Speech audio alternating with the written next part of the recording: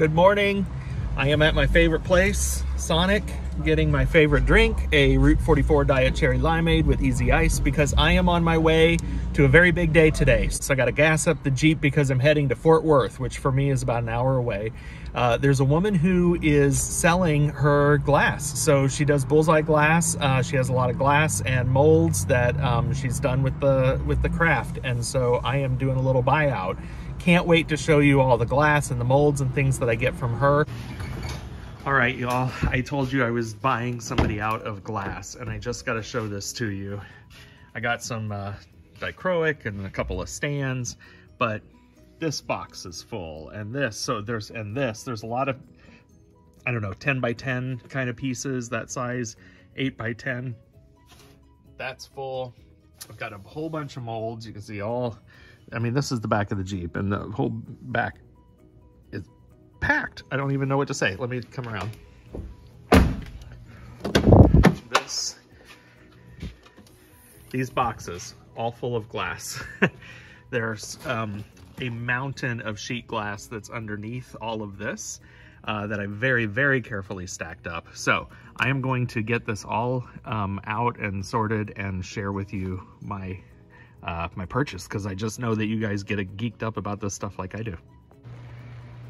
So these are the molds. There are some in here that I already have, others that I haven't even opened up. I don't know what they look like, but lots and lots of molds. So um, lots for me to figure out if I'm gonna keep and then where am I gonna store them and what kind of shapes do they make. So I'll be looking through these. Um, honestly, I may not keep all of these. I may, may sell some. So um, anyway, watch this space. I may end up selling them on YouTube. I don't know how I'm going to do this, but uh, this is the molds as I get things unloaded.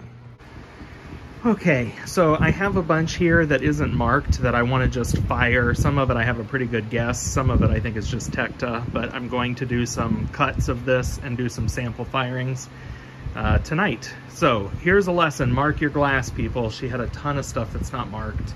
And I just, uh, I hate that because I hate that I have to guess um, mark your glass and your scraps. Do yourself and other people a favor. Okay, so here is the after on this. There were um, only about five or six full sheets, lots of half sheets and three quarter sheets, um, lots of 8 by 10s and 12 by 12s and whatnot. So I've kind of packed this thing out now. There's a lot more glass in here than there was before. Um, and then uh, lots of six millimeter, which I'm excited about that. And uh, I really packed out a lot of my scrap bins as well. So, there, you know, I have I have a bin for yellow and orange, and I had like two pieces in there, and now it's packed to the top. Uh, several of these got filled up with quite a bit more.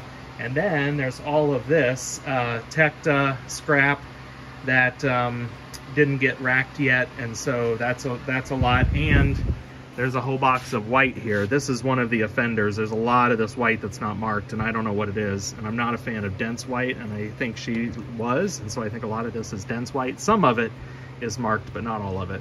So um, that is the glass unpacking. I am going to uh, continue to work on the molds, but there you go. I think uh, I think I'll wrap this video up. Oh, there's some more sheet glass over here. This was dense white. Not a fan. Didn't even put it in my uh, system because I'm not, I'm just not a fan of this stuff. Um, but I hope you find the same opportunity I do. Just keep watching Craigslist, keep watching Facebook Marketplace. Um, you know, look for fusing supplies, fusing glass, fused glass, art glass, and just see what you can find. You just never know, uh, you know, what kind of what kind of goodies you're going to end up with. So, uh, I probably I paid her what I thought was a fair price. She thought it was fair. She was quite excited. Um, and I probably got retail value uh, five times what I spent. So pretty good discount. A little bit of work, a lot of sweat equity, but I'm real pleased with how my collection now has grown.